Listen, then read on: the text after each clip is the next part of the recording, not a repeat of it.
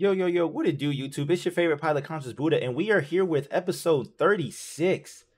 That is right, episode 36 of our Howard University Dynasty Rebuild. If you have made it this far, if you've been here since day one, you know that we are having our greatest season so far. And we got the biggest game of the year coming up. Our game against Hampton Institute. We will kick the ball off to Hoyt. Hoyt on the return. Hoyt will break a tackle and he gets popped. Everyone knows that this game is the make or break of the season. I don't care what we got going on with our record.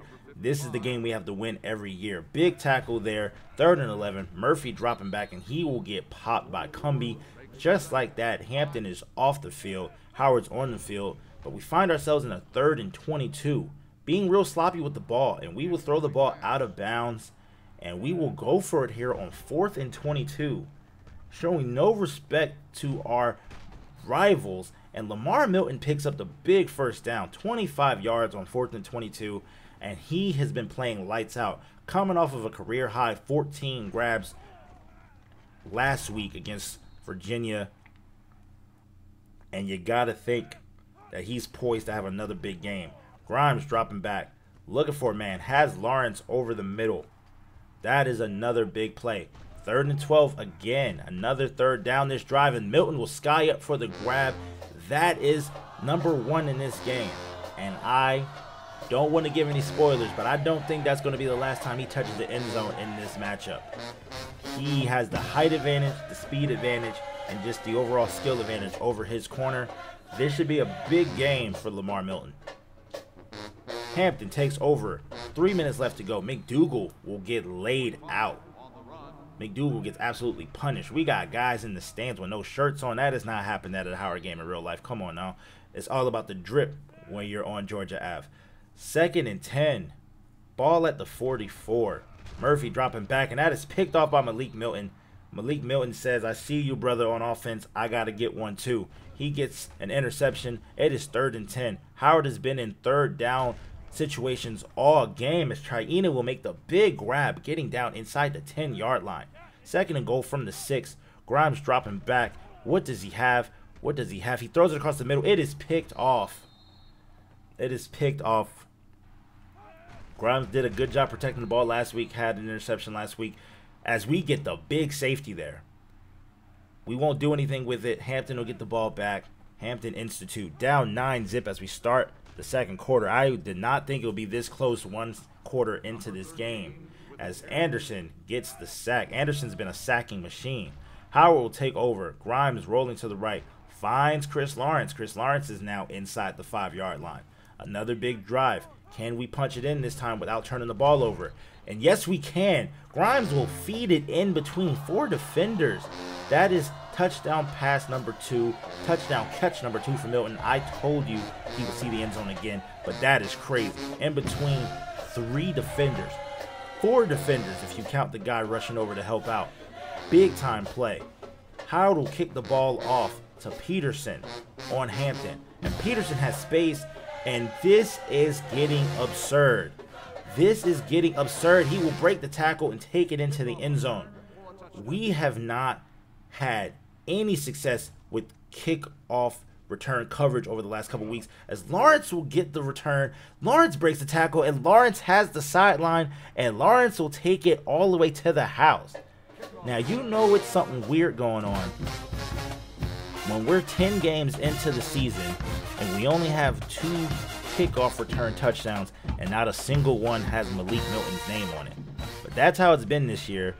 Harris has the first kick return touchdown and our tight end, our backup tight end, Chris Lawrence, with the second kick return touchdown of the season.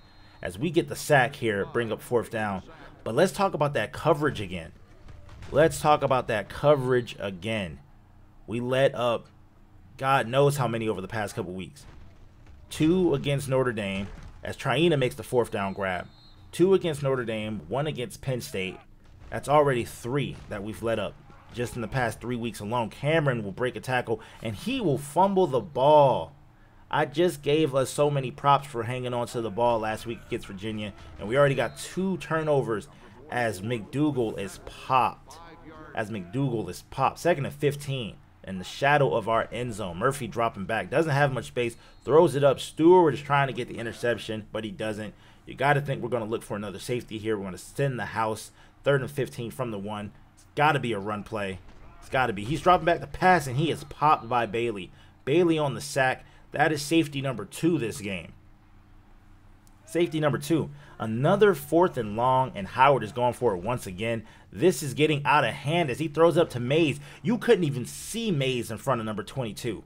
But Grimes knew where he was and put that ball in perfect position for him. Grimes is going to roll left, doesn't have anything, and he finds Lamar Milton on just a throwaway play. This is getting out of hand early. This is getting out of hand early. What is that, number three? Just finds him on a throwaway play, scrambling to his left, throws it across his body. That should have been an interception. That should have been an interception. But when you're hot, you are hot. That is four touchdowns for Lamar over the past two weeks. He is really expanding on that number that we showed last episode as Milton gets another interception. Every single time that Lamar scores, Malik says, Hey, bro, I got you. Big bro, you're not the only star on this team. That is a big play by Howard. Howard is up 32 to 6 here early, early in this game as Rodriguez will get the ball. He will get popped. It is second and six. Rodriguez will get the ball again, and he will fumble. Only his second fumble of the season. The rain, the moment is too big for these players. That is now three turnovers in the game after we had a near perfect game last week. But Harris will get the ball right back. And I said it, I mentioned it against Notre Dame. I don't know if it's great defense or sloppy offense and our defense just bailing our offense out as Cameron gets the grab down the right sideline and he will get down inside the five. Howard is on the move yet again. 51 seconds to go and counting in the first half. Play action. Grimes rolling to the left finds Chris Lawrence. That is two touchdowns now for the backup tight end. He has a kick return touchdown in this game. And now he gets on the board with a six yard touchdown catch. And Howard is putting this game away early. Howard is putting this game away early. And I wish that I could get him more involved in the pass game, but when you got a guy like Lamar Milton who can snag 14 catches in a blow in a blowout victory, it doesn't leave much space for other guys to get too involved. As Peterson will get the ball again, and Peterson is about to make his second house call of the half. This is ridiculous. This is ridiculous. Peterson with two kick return touchdowns in this game. We let up two against Notre Dame. We let up two against Hampton? Hampton Institute? Grimes going deep. Throws it up, and his boy Lamar Milton cannot come down with it. We just expect to play like that at this point, but he doesn't make it. Rodriguez will get the pitch, and he will drag his defender up near the first down marker. Third and one with 22 seconds left, and they're going to that screenplay. That screenplay was there against Notre Dame. Lamar broke for a big one, and he will do the same thing here, getting his fourth touchdown reception of the half. Lamar Milton putting on an historic performance against the most bitter of bitter rivals.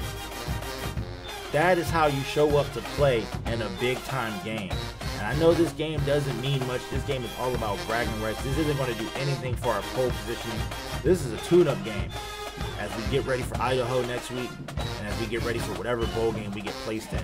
Second and 16 here in the second half. We're finally in the second half. Lamar Milton open on the corner route. That is seven catches today. Seven catches and four touchdowns. That is a ridiculous performance as Johnson, the freshman, gets the ball and Howard is knocking on the door of the end zone yet again. Grimes dropping back, throws it into coverage. Mays is there with the touchdown. Mays has been quiet for the past couple weeks, but he shows up big there with the touchdown in traffic, and that is beautiful. That is beautiful. Four catches, 63 yards, and a touchdown for Mays. And Grimes is on fire. Grimes is on fire this week protecting the ball. Hampton takes over second and nine. Clock is ticking. Howard is up 40. Big time sack by Hall, the freshman coming off the edge. And these are the big plays that we need consistently. Third and 16. Murphy dropping back, looking for a play, throws it up deep, and it is picked off on the bobble by Malik Milton. That is three interceptions on the game. A hat trick, hit a career high for Malik Milton. Howard will take back over. Rodriguez gets the ball. Rodriguez is finally in space. He's been bottled up all game, but you can't keep him down too long.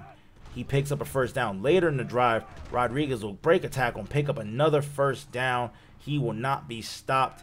And you know he's got to get on the board at least once. Halfback direct snap. He'll take it into the end zone. Howard is up big in this game. Howard is up big. That is 60 points. A 60 burger we drop on Hampton Institute. And every year, you can count on this being the game that I'm pulling out all the stops in. The backups are in. There's two minutes left. Ball gets handed off to Clancy. Clancy makes a man miss, gets near the first down.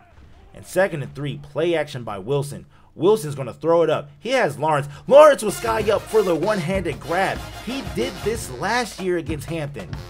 He did this same thing last year against Hampton. The one-handed touchdown grab.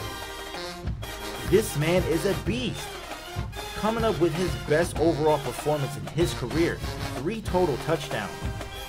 A punt return, uh, a kick return touchdown, sorry. A receiving touchdown, and then this one handed monstrosity of a catch and triple coverage. He did the same exact thing last year, but now he's doing it in the new Jordan uniforms on our home field. And Jesus Christ, that looks amazing. I need the stickum that he has on his gloves. I wish I had that back in my playing days. Big game by Howard. Howard wins 67 to 13. Howard is now 11 and 0, one game left. Like I said, I don't expect this game to move us up in the polls at all, but it's always nice to come home on our home field in senior day, sending our seniors out of here with a big win against our big rivals, Hampton Institute. Gotta love our performances like this. Gotta love playing like this. We are a well oiled machine. Started off this season, big wins against Notre Dame. Uh, sorry, big wins against Alabama big wins against Michigan, Boston College, Kansas, obviously the big win against Penn State, Notre Dame. And this season has been shaping up to be a great one. As you can see here, we wrap up yet another blowout victory. And we just got one game left in the regular season. We got Idaho coming up next week. We are top five team now.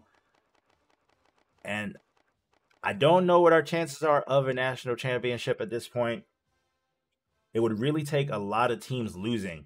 It would take a lot of teams losing. Um, we need we need help. We need a lot of help. So I don't know if we could pull it off, but I do know that we could at least very possibly go undefeated this season. We can very well go undefeated this season. It sucks that our boys are getting snubbed for the season awards. We have no finalists for any awards this year for the first time ever. But I really do think that we can finish undefeated and hopefully get some help and maybe sneak our way into the national championship. Who knows? But you guys know the drill. Until next time, it's been your favorite pilot, Conscious Buddah.